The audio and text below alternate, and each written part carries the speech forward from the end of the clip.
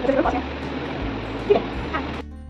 good morning guys welcome to my channel आज guys मैं आपको एक बहुत थिन हेयर्स में कैसे कटिंग होनी चाहिए मैं वो दिखा रही हूँ कि जो बहुत पतले हेयर्स हैं।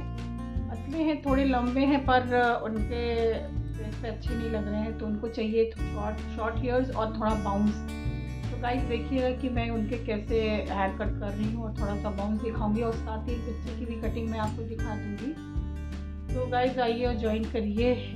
और, जिसने सब्सक्राइब नहीं किया है तो प्लीज़ सब्सक्राइब करिए शेयर करिए लाइक करिए। तो गाइस क्या है? इनके सबसे पहले देखिए, इनके सबसे पतले बाल है। थोड़े से फूले लग रहे हैं, पर मैं छू रही हूँ तो इनके बहुत पतले बाल हैं। थोड़े लॉन्ग वे भी है। तो इनका कहना है कि मेरे को शॉर्ट में चाहिए। नेक लेंथ और थोड़ा बाउंसी लगे, क्योंकि बहुत थिन है। समझ में नहीं आ रहे हैं, पर मुझे पता है इनके काफ़ी थिन हेयर्स हैं। तो यही सजेस्ट किया कि आपके शोल्डर लेंथ होएगा नेक तक।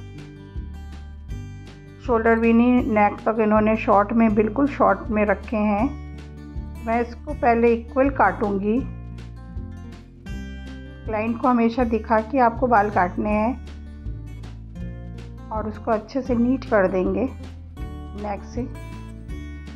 क्योंकि बहुत पतले बाल में भी कोई फ़ायदा नहीं रखने का। इन्होंने इस टाइप से बाल जो कटवाए, ये ये ओपन रखेगी। और इसमें कोई जोड़ा चोटी बनने की ज़रूरत नहीं है। तो ये सबसे अच्छे स्टाइल है, पतला फेस है तो इसलिए इनके ऊपर शॉर्ट हेयर्स अच्छा लगेगा।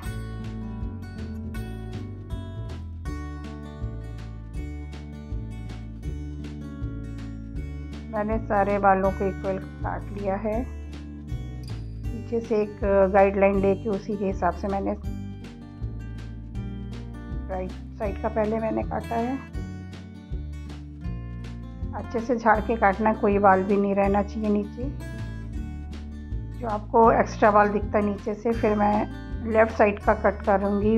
लेंथ जो है हमारी गाइड लाइन उसी को मैं रख के दूसरे बालों को मिला के काटूँगी।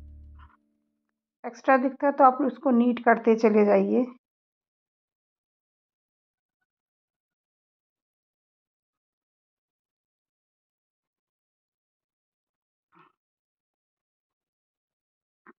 इस टाइप से मैं इधर के पूरे बालों को वन लेंथ करा है मैंने। सर्दी बालों को अच्छे से गीला करके और खींच के ही आप झाड़िए।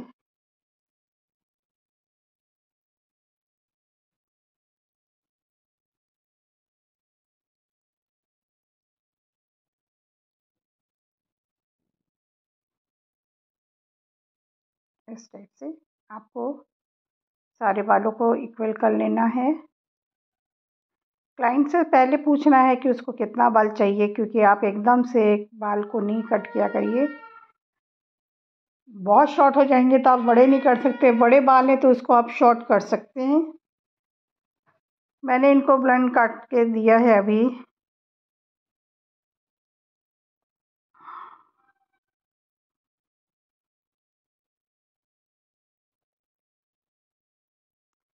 जो भी नीचे के आपको बाल दिखते हैं एक्स्ट्रा आप उसको बहुत अच्छे से कट कर दीजिए।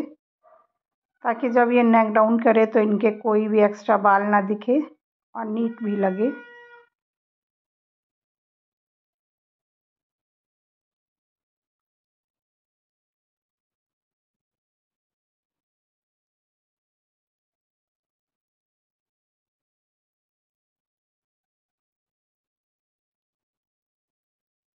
ये देखिए। कम बालों का ये बहुत अच्छे स्टाइल है। इसमें हैवी भी लगने लगता बाउंसी क्योंकि आ, सारे आपके जो पतले हेयर्स थे वो सारे निकाल दिए मैंने सारे कट हो गए हैं। ज़्यादा ड्रायर वगैरह इन बालों में नहीं लगाना है। हाथ से ही अगर आप सेट कर सकते हो तो वो ज़्यादा अच्छा है हल्का गीला करके।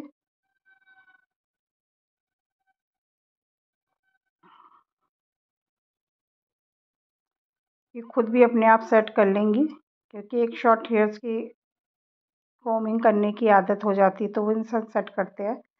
अब इन्होंने बोला है कि मुझे इसमें थोड़े से स्टेप्स टाइप का नीचे कर दीजिए, ताकि और हैवी लुक लगे। तो मैं इसके, इनके बालों को मैं उसी में ही मैं हल्का सा स्टेप्स दे दूँगी। इस टाइप से थोड़े थोड़े बालों का। ज़्यादा कट नहीं करेंगे क्योंकि बहुत ज़्यादा कट करेंगे तो फिर नीचे से थिन फिर से हो जाएँगे। मैं थोड़े थोड़े बालों को कट करूँगी और इनके बालों को देखिए।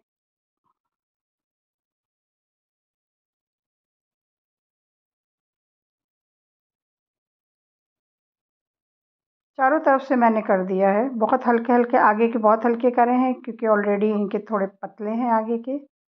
हल्का सा यू टाइप का लग जा, लग रहा है इनका। आगे से मैंने मिक्स कर दिए हैं। बोथ साइड करना है। वो राइट साइड मैंने करके अब लेफ़्ट साइड में मैं कर रही हूँ। बहुत माइनर सा करना है। बहुत ज़्यादा आपको उठा के स्टेप नहीं करने हैं।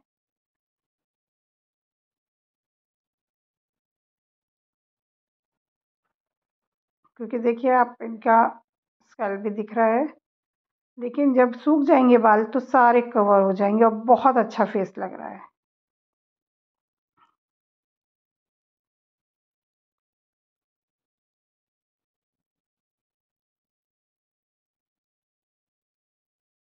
आगे का मैं मिला रही हूँ। थोड़ा सा कैमरा आपको प्रॉपर नहीं दिख रहा है। ये आ गया है, चीकू आ गया है।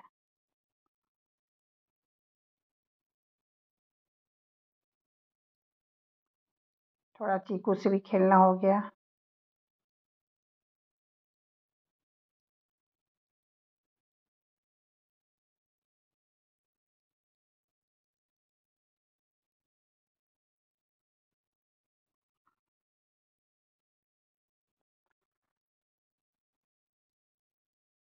अब देखिए, इसको फिर से नीट कर देना है।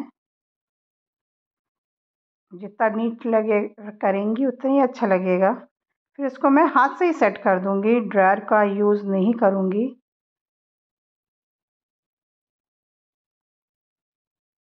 और साइड करके इनका झाड़ी, क्योंकि इनका पतला फेस है, शायद मैं इनका प्रॉपर फेस नहीं दिखा पाऊँगी।